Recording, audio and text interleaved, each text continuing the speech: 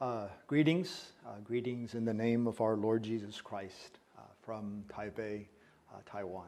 Again, it's been a special joy to be a part of uh, the church's 50th Global Missions uh, Convention. And again, I want to especially thank Pastor Sam Reeves and colleagues for giving me this wonderful opportunity uh, to be able to be with you and to be able to share a little bit of God's Word and what God is doing in missions in the 21st century. Uh, I indeed very much like the name of our church, Cross Culture Church of Christ. Uh, I think back to the church at Antioch.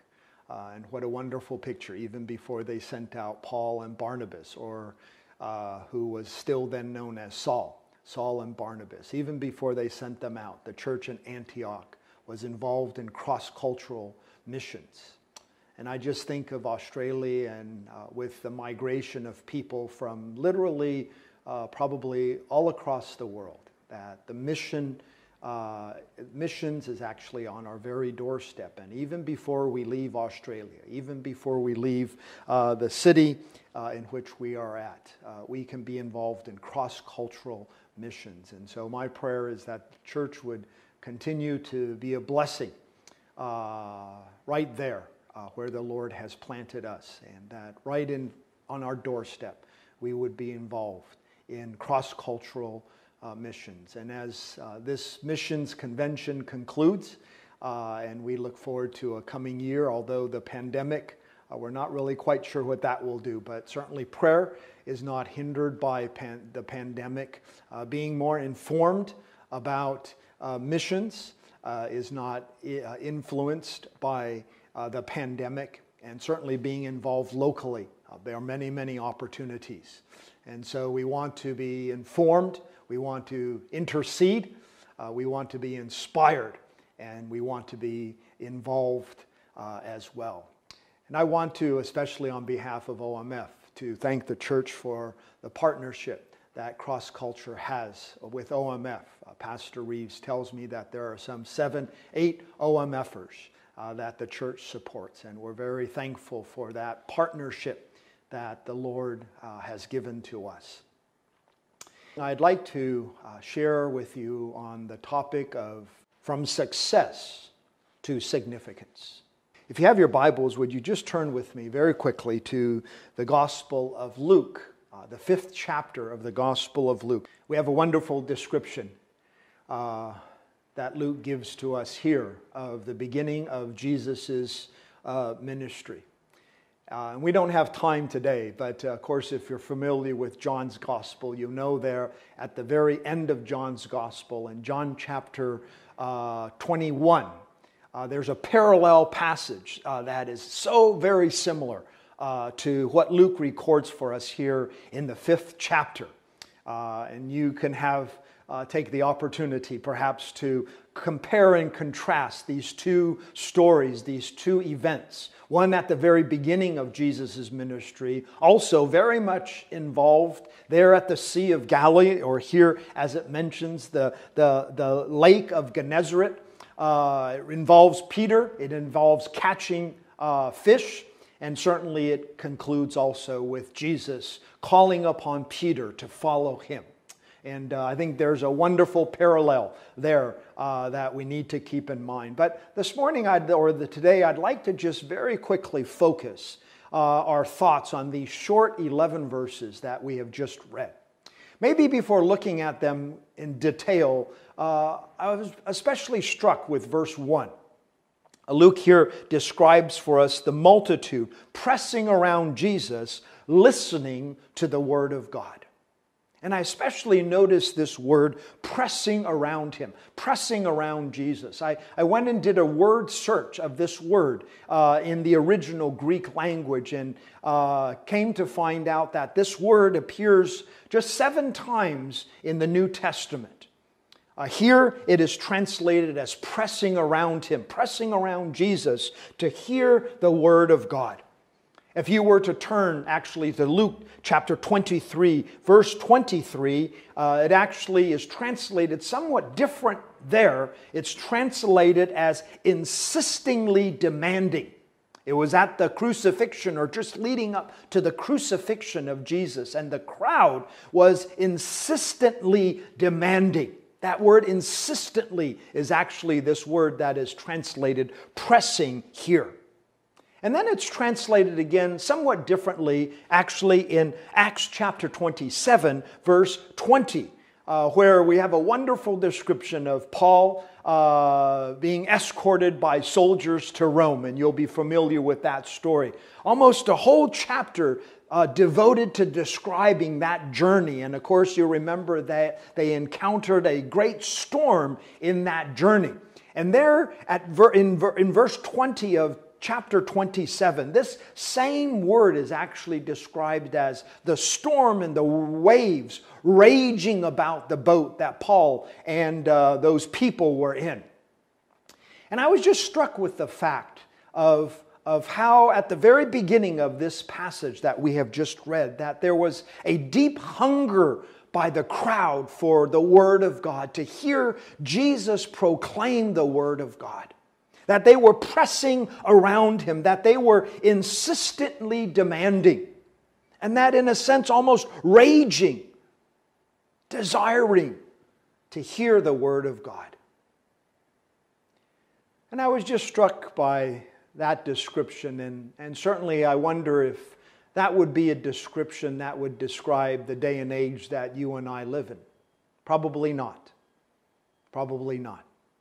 That as we look at the world today, whether it's in Australia, uh, whether it's in other parts of the world, I don't think we quite see that kind of spiritual hunger and desire for the Word of God. Yet it's actually very interesting if you have a chance to go back and, and read revival history throughout the church, actually, even going back into the book of Acts to see people hungering for the Word of God hungering for the Word of God. Recently, I read a book uh, describing something of a revival that took place in China in the 1920s. The book is entitled The Half Can Never Be Told. The half can never be told, and it describes of how a British missionary by the name of Paget Wilkes came to China or went to China. He was serving in Japan and, and he was invited by Christian workers in China to come to China to share the Word of God. And so Paget Wilkes, with his wife, traveled to China. It actually came at a point in which uh, there was a lot of social unrest in China. There was very much an anti foreign kind of a sentiment in China at that point in time. And so here was this missionary, uh, a Western missionary a Brit. He was coming from Japan, which was actually also uh, in a very tenseful relationship with China. And Paget Wilkes came. And that book goes on to describe something of God's work as Paget Wilkes opened the Word of God, and there was such a spiritual hunger for the Word of God. And many, many people were converted under the ministry of Paget Wilkes during that time. And my prayer, brothers and sisters, is that in Australia we would also see that kind of spiritual hunger, that the Holy Spirit be at work in a new and in a fresh way in our midst. And that somehow really much sets the background to this passage that, that we have just read. And I'd like to just think very quickly with you from three areas as I read down through this passage. I want us to first of all notice that Peter's boat was used to proclaim the Word of God. In verse 2, we're told of how Jesus saw two boats lying at the edge of the lake, but the fishermen had gotten out of them and they were washing their nets. And then notice what it says in verse 3 And he, that is Jesus, got into one of the boats, which is Simon's, and asked him to put out a little from the land. And he sat down and began teaching the multitude from the boat. Peter's boat became a platform for the pro- proclamation of God's word. Actually, if we go down through this passage, we will notice that this word boat actually appears several times. In verse 2, it appears twice in verse 3, and then two more times in verse 7. And of course, we're familiar with the fact that Peter was a fisherman by trade. That was his profession. And so his boat very much was a symbol of his profession. And, and Jesus desired to use Peter's profession, to use his boat as an instrument or as a platform to proclaim the Word of God. And I think that has deep significance for us as we look at missions, especially in the 21st century, because as we look at missions literally across the world, uh, what we see is that there are many, many places where people or missionaries in that more traditional sense of the word. Missionaries are not able to go and to serve and to be a witness for Jesus Christ. You can't get a missionary visa. Actually, just in Asia alone, 80% of Asia's population lives where missionaries cannot go openly. And yet, if we look at those places, we would find that they are not closed, but rather they are open. They are open to Christians to go. Missionaries can't go, but Christians can go, and they can use their professions as a platform for the professing, professing of their faith. And I love that word profession. In the English language, you'll know, of course, it means two things. One, it means your job. What is your profession? And if I was to ask, be asked that question, I would say I'm a president of a seminary. That is my profession, that is my job. But yet, isn't it interesting that this word profession also has the meaning of proclaiming, of speaking forth? And so, in a sense, a profession of our faith through our profession. A profession of our faith through our profession. And so we see, first of all, that Jesus wanted to use Peter's boat, his profession, as a profession of God's word, to proclaim God's word. And I believe today, brothers and sisters, that God also wants to use your talents and wants to use your training and your equipping and your background and your profession, whether it's there in Australia or perhaps in other places, that God wants to use your profession as a profession of faith. For several years, we had a wonderful brother from Brazil, actually a soccer or a football coach, who came and served with us uh, via his profession. And he had a wonderful opportunity as he mingled with young people in the city where he was serving to use his profession as a profession of his faith. The city was, uh, was excited that here was a Brazilian football or a soccer coach uh, in their midst. And uh, he was often asked, Why have you come from Brazil to this place? And that opened up wonderful opportunities for him to share something of the faith of Jesus Christ. We had another uh, sheep farmer who was involved for 30 years, has had his own sheep farm in New Zealand, and he came and partnered together with us, again, using his profession as a profession of his faith. And so we see, first of all, that Peter's boat was used to profess or to proclaim God's word. But then, secondly, we see also that Peter's nets were used to display God's power. And there's just several descriptions here that I think are very, very significant for us as we think of this passage. Obviously, first of all, I was struck by the fact that as Jesus finished teaching, he, he said to Peter, he said to Peter there in verse 4, Put out into the deep water and let down your nets for a catch. And the challenge of faith the challenge of faith that is given to us there, that he was called to go out into the deep. And his faith would be challenged, and yet God would also be found faithful. And so Peter answered and said, Master, we have worked hard all night and caught nothing. But then notice this phrase, but at your bidding, I will let down my nets. At your bidding, according to your word. So there was also that test of obedience. There was a test of faith going out into the deep. There was a test of obedience at the bidding of your word. And I just wonder, brothers and sisters, whether these days, as we have gathered together for this, the 50th Missions Convention, whether the Lord has been speaking to you and whether you and I also are faced with that test of obedience I just think back to that passage that we have also already looked at of Philip there in Acts chapter 8 when that messenger of the Lord came to Philip and told him to get up and go. And what do we read? Philip got up and went. Philip got up and went. And so that obedience. And so there was a test of faith. There was a test of obedience. There was a test of lordship as well, wasn't there? It's interesting that twice over we see Peter talking here. There in verse 5, Peter answers and says, Master, we have worked hard all night and caught nothing, but at your bidding I will let down our nets. And then if you go down to verse 8, Peter said, when he saw this net of fish, he fell at Jesus' feet, saying, Depart from me, for I am a sinful man, O Lord. And so there was a lordship test as well.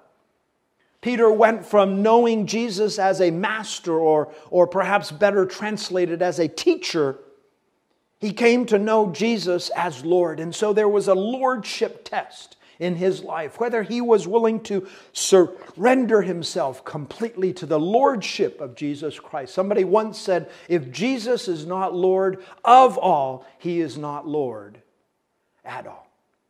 And so there was a test of faith, there was a test of obedience, there was a test of the lordship of Jesus Christ. And in these verses, of course, we have a wonderful example of the power that was manifested through Peter's nets and the catch of fish that manifested that power of the Lord Jesus Christ. And my friends, it is as we journey through that test of faith, as we journey through that test of obedience, as we journey through that test of lordship or surrender, that the power of Jesus Christ will be manifested in our lives. And so, firstly, there was the boat that proclaimed his word. Secondly, there was the nets that displayed his power. Lives, lastly, lives that fulfill his mission. One of the things that strikes me in this story is the partnership that we have between Peter, Andrew, James, and John. And actually, if you go down through this passage, they're referred to there in verse 7 as partners.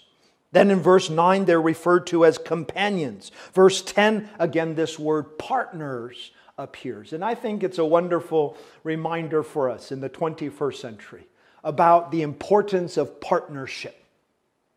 Missions, Christian work is not about partisanship, but rather it is about partnership. A friend of mine reminded me actually uh, not too long ago of the importance of this word partnership in missions. He said to me, Jamie, as we look at missions in the 21st century, it's not about egos, it's not about logos, and it's not about silos. It's not about egos, it's not about logos, it's not about silos, but rather it's about partnering together. Partnering together. And we have a wonderful example of that, don't we, don't we, don't we have it here?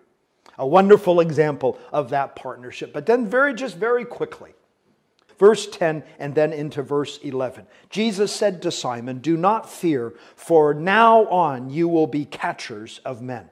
And so, when they had brought their boats to the land, they left everything and followed him. First of all, we see the courage. Do not fear. Do not fear. What a wonderful three short word statement. Do not fear. Do not fear. And so there was this courage that came. But not only so, there was also consecration, that they left everything they left everything to follow him. And of course, there was that commitment, wasn't there? There was that commitment. And so here we have a picture of lives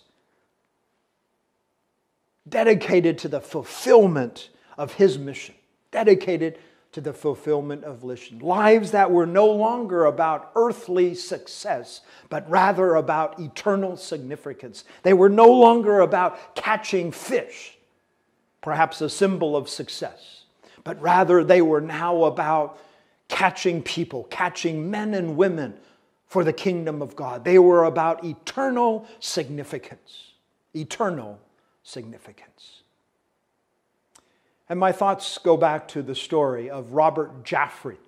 Perhaps some of you might be familiar with Pastor Jaffray's story, an early Christian missionary alliance missionary uh, to China. He came from a very well to do family in Canada, in Toronto. His father had a very successful business and had, had all the intentions of actually uh, his son eventually taking over for him. And yet, Robert Jaffray felt that God was calling him to cross cultural missions. And, and so, even, uh, even in spite or despite the opposition of his parents, eventually, thankfully, his parents came around, but uh, very difficult journey. But he followed Jesus courageously to China. Incidentally, he was eventually greatly used by God in stirring up a mission vision for the Chinese church and was instrumental in actually uh, forming one of the very earliest cross cultural mission agencies in the Chinese church called the Overseas Chinese Mission. The Overseas Chinese Mission.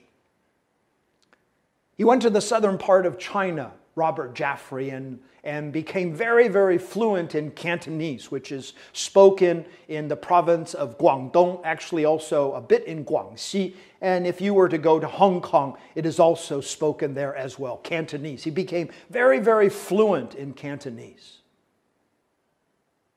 One day, Robert Jaffray got a letter from uh, an American petroleum company called the U.S. Standard Oil Company, which was at that point in time one of the largest oil companies in the world, inviting him to actually head up their whole larger or their whole China operation. In that letter, they said, This is the amount, uh, the salary that we are going to give you. And it was a very significant am- amount, much bigger than what he was getting from the CMA. But Robert Jaffray wrote back and said he was not interested. They again came back to him and they said, uh, You make your own offer. You determine how much you want us to pay you, and we will pay you that amount. To that, Robert Jaffray responded to Standard Oil by writing back and saying to them that, Well, your pay, your salary is big, your job is too small. Your job is too small. And God went on to use Robert Jaffray in an amazing way. A life fulfilling his mission, his life, his life fulfilling God's mission. From success to significance, from earthly success to eternal significance. And my prayer is that our boats, our professions would become platforms where his word is professed. That our nets, as we have that faith, that test of faith, as we have that test of obedience, as we have that test of surrender, that our nets will also be displaying His power, but also that our lives would be about fulfilling his mission. That our lives would be about fulfilling his mission. And that the Lord would help each and every one of us to move from earthly success to eternal significance.